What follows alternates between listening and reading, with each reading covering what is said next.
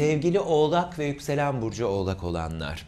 Pazartesi günü boyunca çocuklarınızla ilgili, aşk hayatınızla ilgili ve yaratıcı projelerinizle ilgili mühim gelişmeler yaşayabilirsiniz.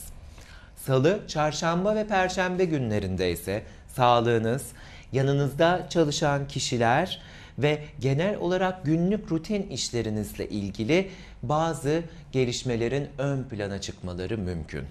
Cuma ve cumartesi günlerinde ise evliliğiniz, ortaklıklarınız ve yeni sözleşmelerle ilgili bazı önemli kararlar alabilirsiniz. Haftanın son gününde yani pazar gününde ise genel olarak ortak yatırımlar, ameliyatlar ve paylaşılan kaynaklarla ilgili bazı kararlar almanız mümkün görünüyor. Haftanın geneline baktığımız zaman pazartesi günü Venüs'ün İkizler Burcu haritanızın 6. evine denk geldiği için bir ay boyunca yanınızda çalışan kişiler, evcil hayvanlarınız ve günlük rutin işlerinizle ilgili bazı fırsatlar karşınıza çıkabilirler.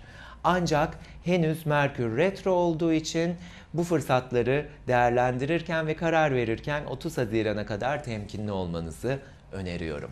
Sevgiyle kalın ve kendinize iyi davranın.